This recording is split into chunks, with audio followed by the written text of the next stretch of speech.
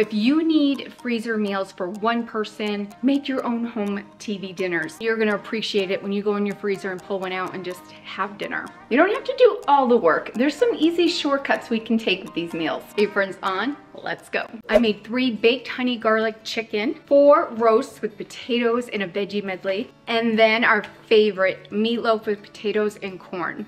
I started on these freezer meals actually last night. I put a roast in the slow cooker. You can use a chuck roast, rump roast, or even a pot roast. To my half cup of water, I'm adding a packet of ranch buttermilk dressing, a packet of zesty Italian dressing mix, and a packet of brown gravy mix. I have the container of it, so that equals three tablespoons. Mix that all together, pour it all over your roast, and cook on low for eight hours. So I'm cutting it to where I'll get some really tender pieces. Yummy, yummy. I added the beef right back into the slow cooker because now I want them to hang out in that gravy and absorb all that up. And then when I'm ready to plate this up, and pour it over into the trays. And this morning I peeled some potatoes, quartered them, and got them in the Instant Pot. This is filled with potatoes. We're gonna get a lot of servings, and if I end up having extra servings, I can make a shepherd's pie, throw it on top of that, or I can individually freeze portions of mashed potatoes. They work out great, you guys. So I am not worried if I ended up cooking way too many potatoes. I found these meal prep containers on Amazon. There's brands like Freshware and Igloo. I have a combination of both. A lot of the time you can get them in a 15 pack. They're stackable, which is nice. And what's also nice is that they're microwave and dishwasher safe and they can hold 32 ounces. I also have the Ziploc brand and the Betty Crocker brand. I would say that the Betty Crocker brand and the Freshware and Igloo brand work the best. I'm getting some help today with bags of frozen vegetables. It makes putting these together so fast, so easy. You don't have to try to cook up the vegetables to a certain point and try to flash freeze them and all of that get some help with frozen veggies. These are the steam fresh kind. I mean, any frozen vegetable is gonna work because you already have the moisture with them being frozen. And when you go to reheat these, they're going to be covered and it's gonna create the steam and everything it needs for it to cook. If you wanna make this process even faster, you can use pre-cooked rice, like these packets. Just open them up, add them to your container, and continue putting your mail in there. It'll freeze and reheat well. You can also use already freezed rice, and I like to use already frozen cauliflower rice. Let's dish up our roast beef dinner. Then in one, you're gonna add your potatoes. And I like to make a little well with mine. Then I like to put a couple of pieces of butter right on to my potatoes. Salt and pepper your potatoes, and then add in your frozen veggies. And I'm gonna pour down some of that gravy. That is gonna be good. Look at that. How easy is this? Snag your favorite seasoning, put it on top of your veggies, get the cover on, and you're good to go.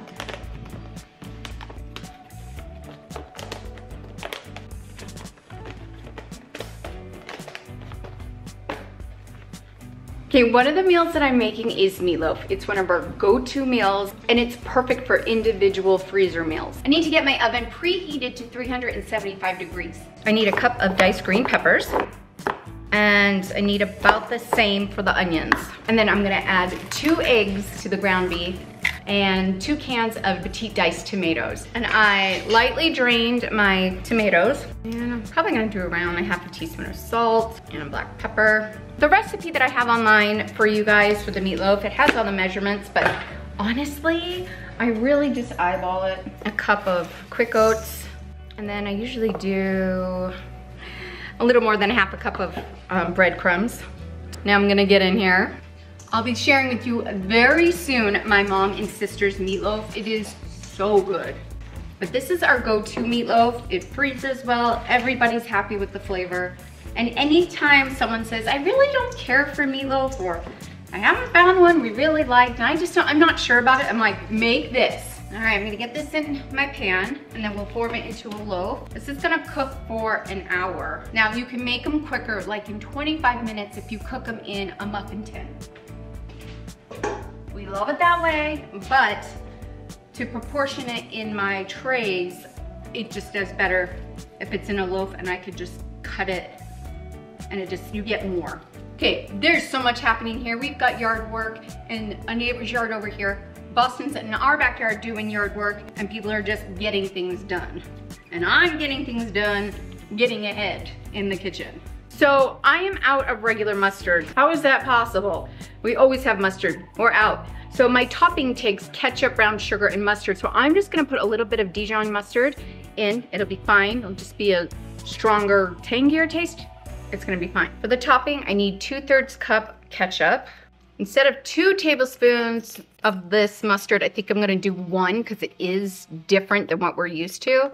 And then I need four tablespoons of brown sugar. Give this a good mix and get this on top. Okay, this is going in the oven, 375 for one hour.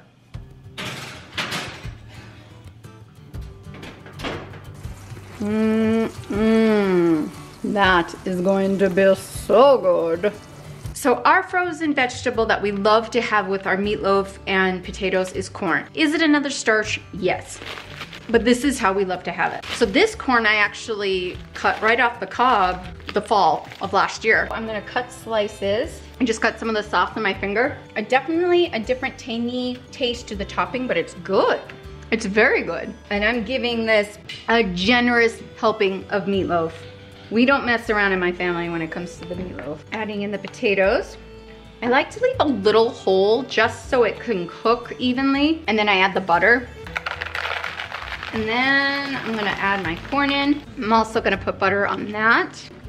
Um, you can't see this, but in front of me right over there are two people like drooling over the food.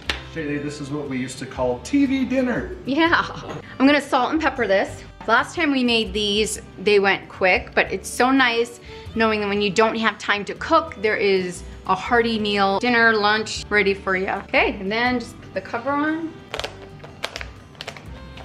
Yum. Yes, that's a lot of meatloaf, but my family, we don't go don't go small on meatloaf. No, you gotta go big. It's just so yummy. And our last meal today is honey baked garlic chicken. I do have my own recipe, but I'm trying a new recipe that's calling for apple cider vinegar, so I'm completely intrigued. I'm starting with two pounds of boneless, skinless chicken thighs, and now I'm adding them to my 9 by 13 baking dish. I have my oven preheated to 400 degrees. Next, let's make the yummy sauce. We'll need a fourth cup of soy sauce, and then a fourth cup honey, we're gonna mince up six cloves of garlic.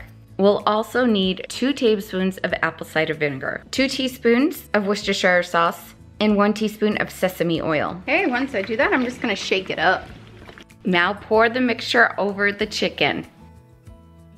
This is gonna bake for 30 minutes, again in a 400 degree oven. Mmm, smells good. Okay, what I'm gonna do is take the chicken off and I'm gonna thicken this sauce. I have a tablespoon of cornstarch. I'm gonna add a tablespoon of water. Give this a mix. Okay, I'm gonna mix this in.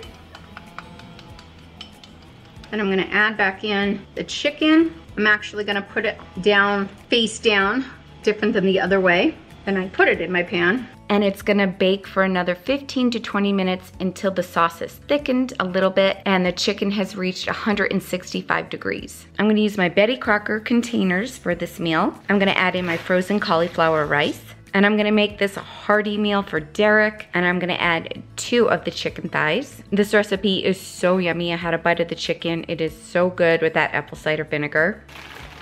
Then I'm gonna add in my frozen veggie medley. And of course, you gotta pour the sauce over the chicken. Mm-mm. I'm even gonna pour it over the vegetables.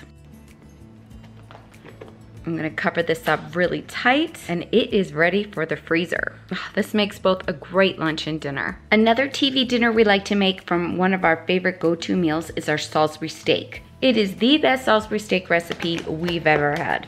When you wanna go heat one, take it out of the freezer, take the cover off, wrap it in saran wrap, and depending on what meal that you're making, it could take anywhere from three to five minutes.